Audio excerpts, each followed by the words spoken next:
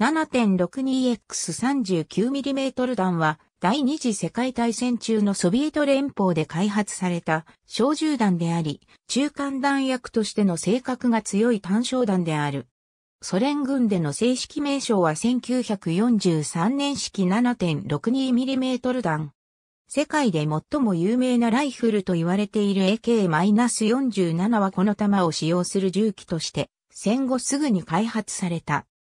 1970年代までソビエトでは最もスタンダードな銃弾であり、現在においても世界中で軍用から療養に至るまで幅広く使用されている。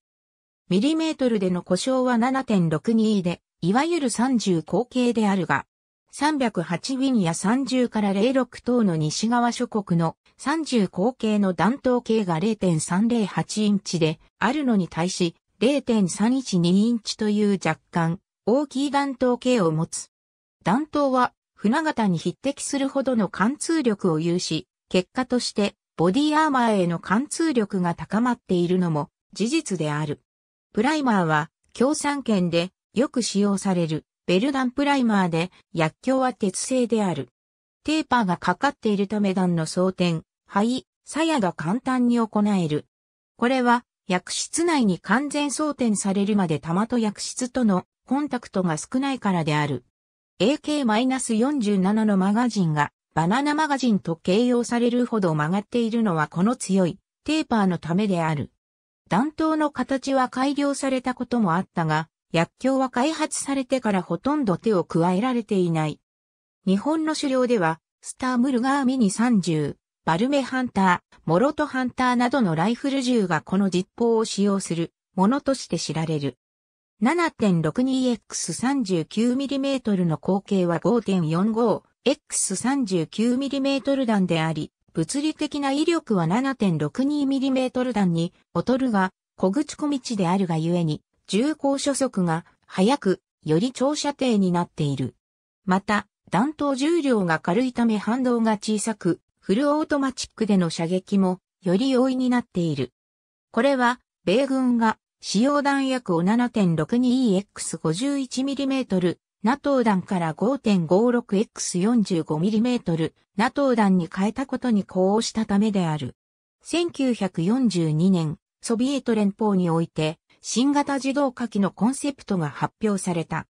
この新型火器は、小型軽量で、戦場における兵士の積極的な活動を可能とし、短期間銃よりも射程があり、短距離から中距離での戦闘に十分な性能を備えるものとされた。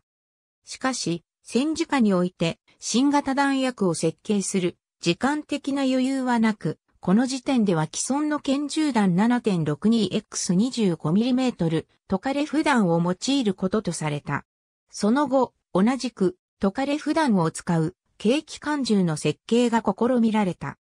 短期間銃は射撃距離が200メートルを超えると精度が著しく低下するが、比較的重い重心や二脚などを備える軽機関銃であれば、同じ弾薬でも長射程が期待できるのである。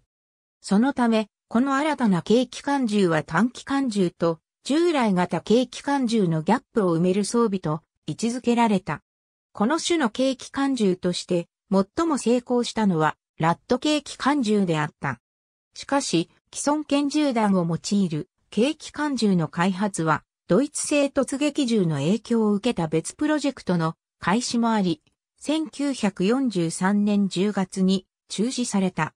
1942年末、ドイツ製突撃銃 MKB42 が露獲された。ソ連の銃器設計者らは、突撃銃そのものよりも銃の特性を実現せしめた 7.92EX33mm 弾に注目した。当局では同等の新型弾及び、これを用いる一連の火器の設計を急ぐこととなる。1943年8月、砲兵総局は新型弾を用いる汎用火器システムの設計要件を示した。この時点では使用するべき新型弾薬が未だ存在せず、後に銃と並行して開発されたため、プロジェクトの複雑化を招いた。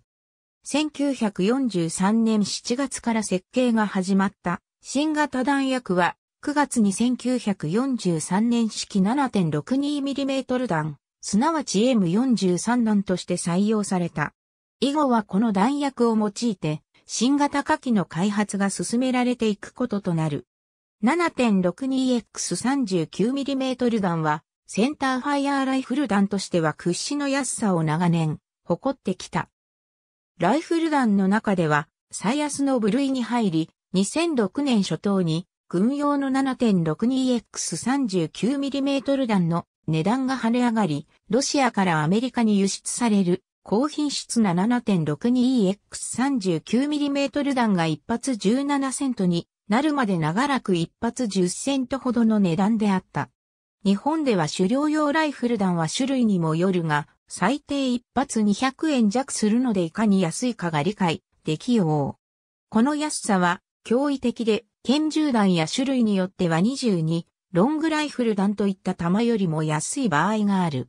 しかし、近年、弾薬のアメリカにおける市場価格は2倍近くに高騰している。これはアフガニスタンやイラクの軍隊をアメリカが再建支援しているためで、これにより大量の 7.62EX39mm 弾が発注されたことによる。しかしながら、2007年の時点でアメリカ市場において最も安いライフル弾であることに変わりはない。ザ7.6239ロシアンモデル43。2010年8月26日閲覧。ウルフライフルアモ。2008年9月5日閲覧。